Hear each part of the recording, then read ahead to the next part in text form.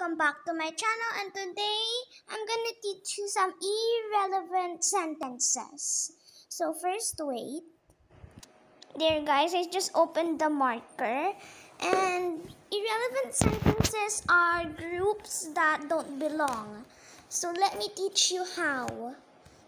So first let's write some sentences and you tell me the things that don't belong. First, I'm gonna answer and teach you. First, for example,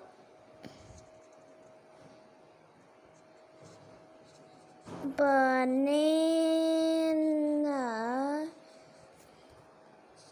is yellow.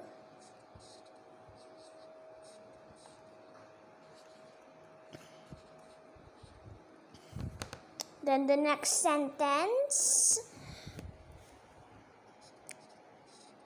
it's yummy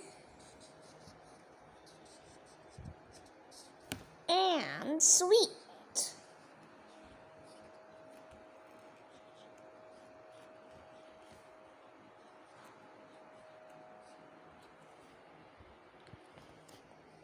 And now,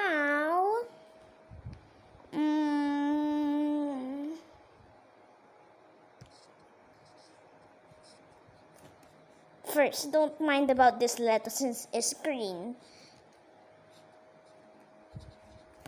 And this is just how to teach you.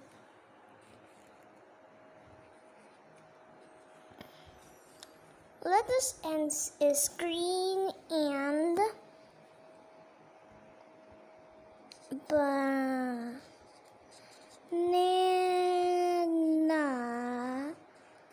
is a fruit.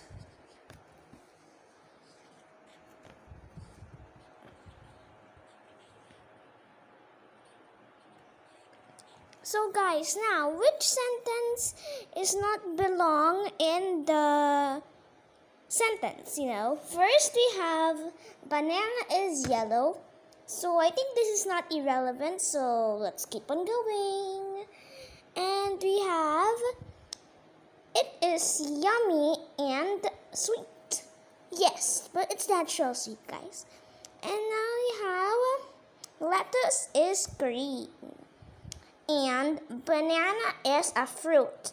They're all right except the lettuce is green, so that's irrelevant sentence because it doesn't go with their topic. So let's circle that.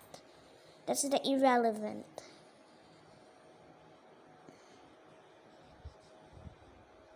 Alright guys, I think you're doing good. Now let's have one more example. Oops, wait.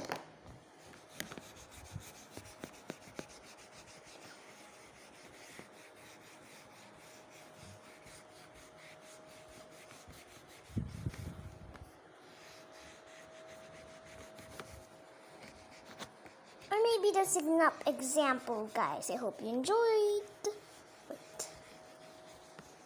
Alright guys, that's the end of my video. I hope you enjoyed it. Don't forget to subscribe, like, and share.